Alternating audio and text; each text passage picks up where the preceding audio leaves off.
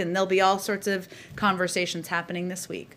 Sorry, Kelly, go ahead. Do you get a sense that um, as the president's going to have his first meeting with Kevin McCarthy here in Yeah. that, uh, that leadership meeting you talked about, obviously the House Republicans have some of their own internal matters going on. Does the president think any discord they are having has an influence or comes into the meetings that he will have with leadership? Does that affect how he views sitting down with them at all?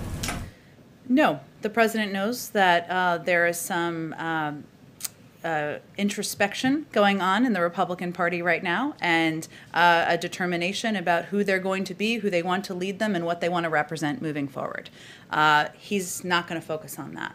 Uh, he also believes that the American people uh, did not elect him to uh, accept improbability or impossibility of working in a bipartisan manner. So the role he can play as president of the United States is to uh, continue to seek ways to work together.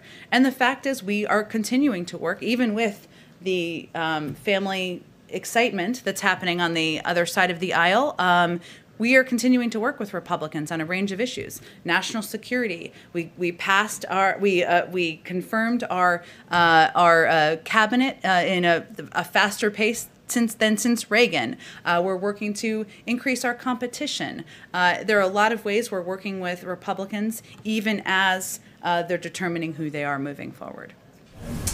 Go ahead in the back. Thank you, Jen. Uh, both uh, German Chancellor Merkel and French President Macron have expressed their concerns over U.S. policy towards vaccine. They've basically been underlying the need for more exports, be it for the vaccine itself or the components.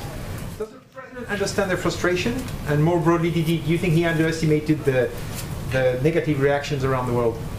Well, let me first say that the president's commitment to a global COVID 19 response uh, has been steadfast and consistent since day one when we made the decision to rejoin the WHO. We understand that the border, the virus knows no borders, that it is important for the United States to continue to play a central role in addressing the global pandemic. We've invested more than any other country in COVAX, and we're pushing other countries to invest more in the program to get vaccines to developing countries.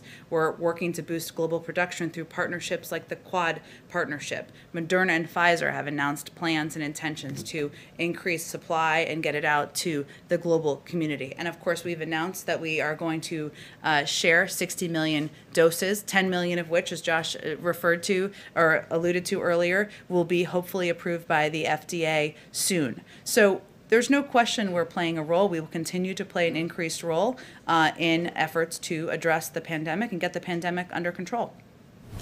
Go ahead in the back. Thank you, John. Uh, speaking of uh, NATO's eastern flank, uh, the important part of